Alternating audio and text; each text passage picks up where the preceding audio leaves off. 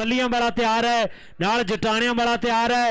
ਆਓ ਵੇਖਦੇ ਵੀ ਭਿੰਡਰਾਂ ਵਾਲਾ ਇਸ ਵੇ ਬੱਬੂ ਨੌਜਵਾਨ ਗੁਰਦਿਆਲਾ ਰੋਕਣ ਲਈ ਜਦੋਜਹਿਦ ਕਰ ਰਿਹਾ ਹੈ। ਆਓ ਸਿਰੇ ਦੀ ਰੇਡ ਪਈ ਹੋਈ ਹੈ। ਜੱਫਾ ਸਿਰੇ ਦਾ ਲੱਗੂ ਕਿ ਨਹੀਂ? ਵਾਹ ਓਏ ਨੌਜਵਾਨ ਐ ਨੌਜਵਾਨ ਵਾਹ ਓਏ ਗੱਭਰੂਆ। ਪਰ ਬੱਬੂ ਦੀ ਥੋੜੀ ਸੱਟ ਲੱਗੀ ਹੈ। ਮਾਲਕ ਮਿਹਰ ਕਰੇ ਇਹਨਾਂ ਖਿਡਾਰੀਆਂ ਨੂੰ। ਮਾਲਕ ਮੇਰ ਕਰੇ। ਚੜ੍ਹਦੀਆਂ ਕਲਾਂ ਚ ਰੱਖੇ। ਸਾਰੇ ਪਲੇਅਰਾਂ ਦੇ ਕਦੇ ਵੀ ਤੱਤੀ ਵਾਹ ਨਾ ਲੱਗੇ ਨਾ ਗੱਭਰੂਆਂ ਨੂੰ। ਕਦੇ ਵੀ ਖੇਡ ਮੈਦਾਨਾਂ ਦੇ ਵਿੱਚ ਤੱਤੀ ਬਾਹ ਨਾ ਲੱਗੇ, ਗੋਡਾ ਲੱਗਦਾ, ਘੁੰਮ ਗਿਆ ਇਸ ਵੀਰ ਦਾ।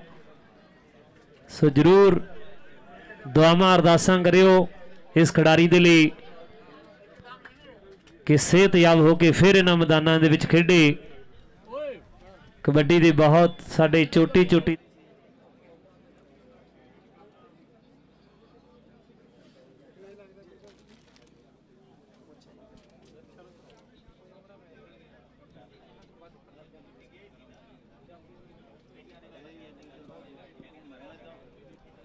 ਵਾਹਿਗੁਰੂ ਮਿਹਰ ਰੱਖੇ ਇਹਨਾਂ ਖਿਡਾਰੀਆਂ ਦੇ।